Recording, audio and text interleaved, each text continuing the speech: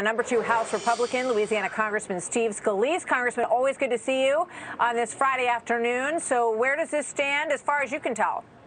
Well, Martha, it's good to be back with you. And they still don't have the votes. And that's the bottom line.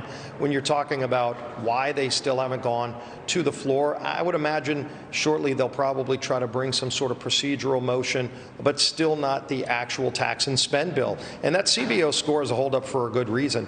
Uh, the Wharton report is, is very damning in terms of how bad it would be for the economy. Uh, $4 trillion, not 1.5 trillion in new spending. And the voters in Virginia said, uh, one thing loud and clear. They're tired of all the spending in Washington because that's what's driving inflation. We don't need more inflation with four trillion in taxes and spending, uh, let alone all the taxes on things like natural gas. Uh, the, you see these payments to illegals, $450,000 in illegal, and then they're going to put amnesty in that tax and spend bill. Those are the things people are revolting against. It's why they don't have the votes, and when the score comes out, it's only going to make things worse. So I don't think they're going to pass it today, but they're going to keep trying. You know, maybe they should be handing out slings over there in the speaker's office for all the arms they're twisting, but they're not there. Hmm. Well, it's interesting because the message from the White House and the cabinet seems to be that they want to be full steam ahead on this spending bill, and they still believe that it is in that current form, which you say could go as high as $4 trillion, according to some of the uh, workups on it. They believe that this is still what the American people want. Here is the Transportation Secretary, Secretary Buttigieg. Watch. These are things that are going to make such a transformative, real dollars and cents difference for families across this country right away, which is why it's so important and why it's so popular. The American people are demanding the kind of policies that are sitting in front of Congress right now, and we can't wait to see them through.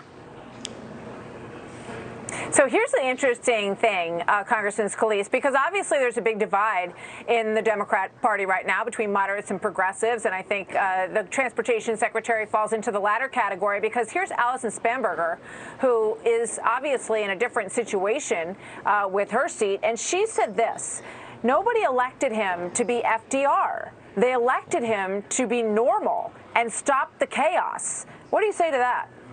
Yeah, she's right. They misread last year's election.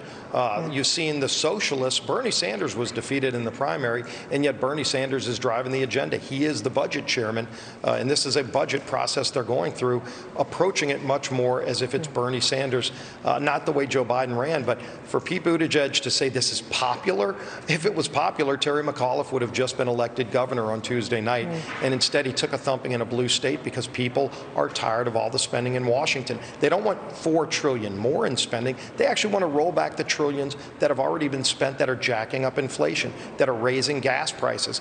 Uh, you saw their Interior Secretary laughing at the thought of increasing production in America when that's the problem. They have shut off production in America while they're begging OPEC to, to produce more oil. People don't want to pay $150 or more to fill up their car for gasoline, yet that's what yeah. they're doing. And it seems like President Biden and Speaker Pelosi are tone deaf to what's going on in the real world, and it's costing them.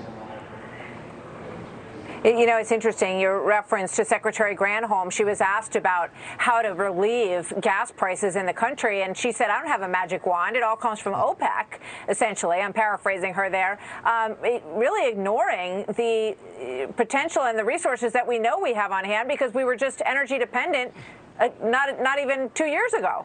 Yeah, they gave away that magic wand to OPEC. We were energy independent. They killed the Keystone Pipeline. They put a ban on drilling on federal lands. And then you're, you're going to beg OPEC? OPEC said no for a reason. They want higher yeah. gas prices. It helps OPEC, but it hurts families in America. And by the way, it's the lower income families that are hit the hardest by President Biden's inflation tax that he created himself. He can mm. reverse it. He just doesn't want to because the far left won't let him.